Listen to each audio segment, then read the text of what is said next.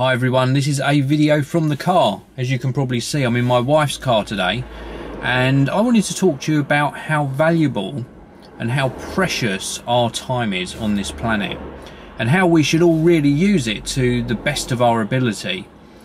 A lot of people come up with quotes like say live every day as though it was your last and lots of things like that. And for the most part that is very true and I want to just sort of share with you something quite personal to me and that is about probably about a year and a half two years ago I was in a place I would term a very low place. I had a lot of uh, stresses to do with work to do with business things deals that were trying to be uh, developed etc etc and also I went through a lot of personal issues as well. Uh, not necessarily uh, to do directly with me, but to do with the people around me. And a lot of things were changing in my life at the same sort of time. I even went through a, a couple of weeks, I think it was, about two or three week period where two people that were very close to me actually passed away, and I did share that with you at the time in a video. And I think it was at that stage when I lost a couple of people that I would converse with more or less on a daily basis that I really came to realise how precious every day is. And I think reflecting back on that time, I can honestly say that I think I wasted probably a couple of months of my life. Not all in one go, not not in sort of day after day after day, but if I put all the time I consider that I didn't spend to the the best of my ability, I think it probably added up to maybe two, maybe even three months. And that's a long time. And I spent that time thinking, feeling sorry for myself, with the feeling that the world was against me. Why wasn't everything in my life aligning and going correctly? You know, why were things challenging me? And at the time, I was living in that moment. So it, it was right for the time, but I never want to go back there again. And I think about six months ago, I came to the realization that I would need to really direct my business focus and my concentration on the content that I put on the Geekanoids channel and the other channels and the other projects I work on. I have to direct that focus and really make it count and make it things that I enjoy doing. I've spoken to you a lot of times really advising you, both in video form and in tweets that I put out and other social network posts, that you should only do things if they are fun and if you enjoy them. Of course, we all need to earn money, of course we do. But there comes a point in our lives where we have to learn to say no to certain projects. Thankfully, I've done that. We have to also only take on things that we are truly happy doing. Now, what I mean by that is, and how that directly affects me, is before I would be in this pattern. And it's this pattern I've broken, and I'm sure you've recognised that in the video content that's published to the channel. But before I would be very regimented in the way I do videos. It would be get a product in, or source a product, unbox it, do the initial impressions, uh, publish a video test, publish this test, work on the review, get the review out, uh, push those all through social media. And then the thing that took its toll on how I felt about doing that sort of structure to my videos was the whole process would start again. That to me is not creative. That to me is being robotic in the way I produce content. So I'm going to pick up on this and talk to you a bit more about it back at the studio.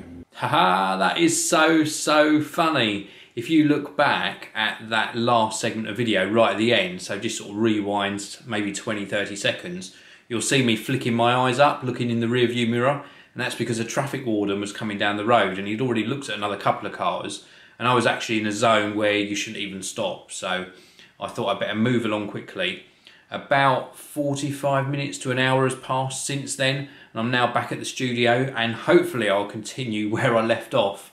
I was just sort of covering the subject of how I wanted to break that mold of being in that cycle of uh, reviewing products in the way I was doing and return to the time where I enjoyed my technology more because technology to me is a very personal thing. It's what made me start making videos in the first place was my personal enjoyment that I gained from using technology and sharing that advice. Now, even through the period where I was going through that cycle, I was still enjoying sharing the advice, but I didn't have time to necessarily uh, thoroughly enjoy the technology myself and I needed to return to a point where I was making videos about what I enjoy to put that fun back to back in. That's very, very important, extremely important. And for me, that means that it's not all about technology. That's why you get different videos from me every day talking about my personal life and, and what I enjoy on a personal level. And you'll also see some videos thrown into the mix that are so-called tech videos or more geek videos that are about things like when I do my Lego builds.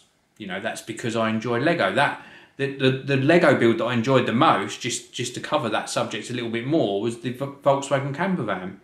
When I got that VW camper van, I was over the moon and building that, spending all those hours was so, so enjoyable. And from a personal level, I would rather make content like that that people can go back and watch years later than a piece of technology that's outdated within a couple of weeks or a month or a few months after it's become available. People have got into this cycle with their own technology where they always want to upgrade. They don't want to miss out on that new feature in the new product. And that means that older technology is outdated very, very quickly. And so the videos, you know, not, not a lot of videos that I see either on my own channel or on other people's channels after three months who's going to be interested in watching an old smartphone video of course there will be some of course there are there are people that uh, upgrade on a different cycle to everybody else but the longevity of that type of video is uh, not as valuable to me and I don't think it would be as valuable to you as something else so that's why you will have seen a change in both myself and the content on the channel. And that's because it's my channel, it's about my life, it's about what I enjoy. And I'm still going to share technology along the way, of course I am. That's what I love doing, but I'm going to take the time to enjoy it myself as well. So that's what I wanted to share with you today anyway. That's just my thought, how my thought process has certainly changed over the last six months to a year. Uh, and it's taken me a long time to get to this point where I'm comfortable with what I am uh, experiencing on a day to day basis.